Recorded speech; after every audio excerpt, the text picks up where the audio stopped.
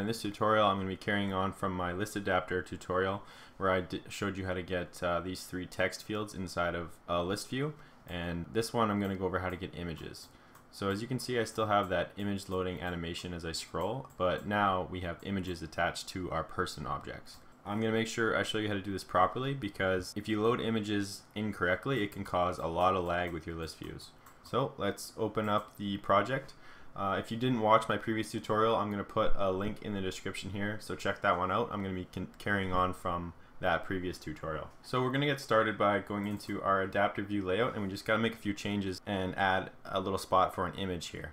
Obviously, I made this ahead of time, so I'm just going to paste it in and go over it quickly. So everything's pretty much the same, but I added a second linear layout here just to uh, share a horizontal layout with this text field and this image view pretty straightforward. I just used the weight sum to divide the layout between the image view and this text field. So we can close that and get started. We're going to be using a special library to help us display the images. It just makes it a lot easier to compress and resize the images so that they don't cause your list views to lag. Bring open a new window and just type universal image loader android and you can see here's the github page right here. So here we have the universal image loader GitHub page and if we just scroll down to what kind of URLs it can handle, you can see we can get images from the internet, from files, or from the assets or drawables folder. So in our case, we're going to use the drawables folder. And to get started, we can just go to the quick setup button here and scroll down and grab this depend this Gradle dependency.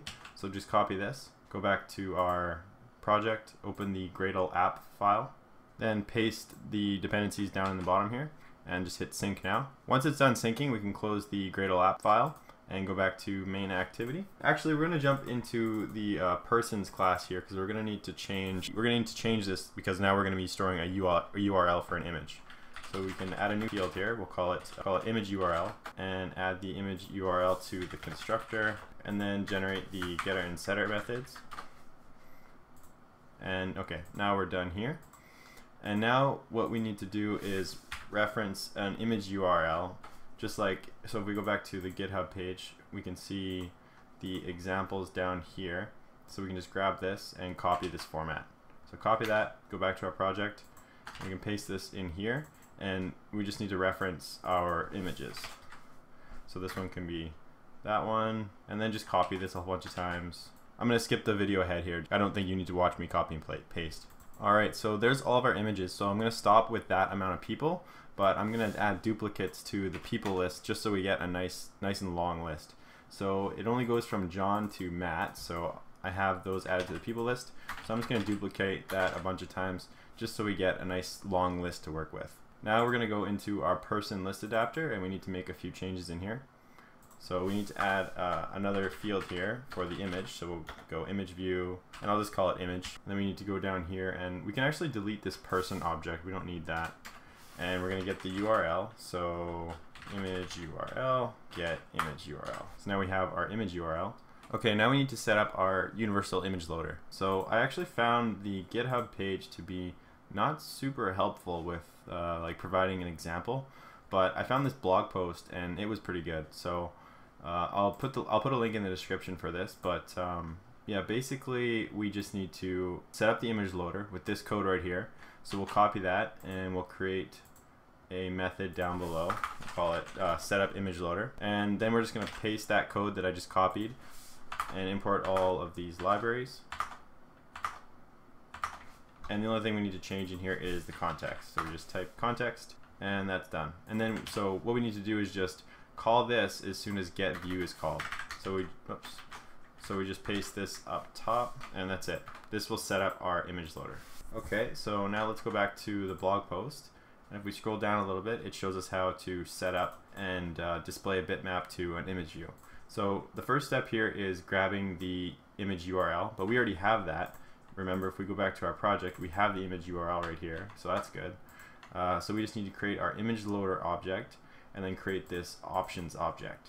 So I'm just going to copy this, go back to the project, and I'm going to create those objects down here.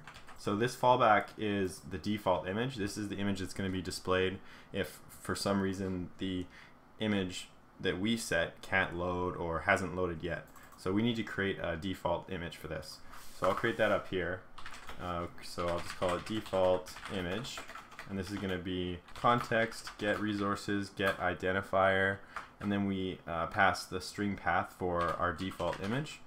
So it's going to be in drawables, and I'm going to call it image underscore failed, and then we go null and context and context dot get package name. Just like we did in my uh, image view tutorial where I showed you how to set an image to an image view. We're using the exact same method here. And then I'm just going to pass this default image into all of these positions. And uh, we still we still need to import this image though. So currently this image is not in our drawables folder.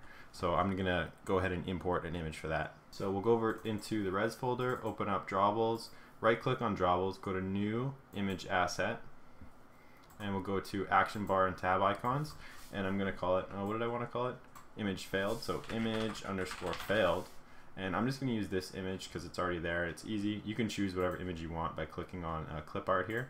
Then go to next, and we can see it's gonna go to the drawables folder, so we just press finish. Now our image is in the, in the drawables folder, and we have a default image. Okay, now that's done, let's go back to the blog post and see what it wants us to do next. So next we have to declare the image view object, but we've already we've already done that. We've got our image view object. Uh, where is it? Oh, we didn't do that. Okay, so we have to actually cr create our image view object. So go up to holder dot image equals image view and convert view find view by id r dot id dot this should just be image. There we go. Okay, so good thing I checked the blog post. So back to the blog post, and the last step here is actually displaying the image to the image loader object. So we just go back to our project, and we go image loader dot display image, and we here we go with the image URL. Then we pass the image view, so that'll be holder dot image, and then we pass the options, and that should be good.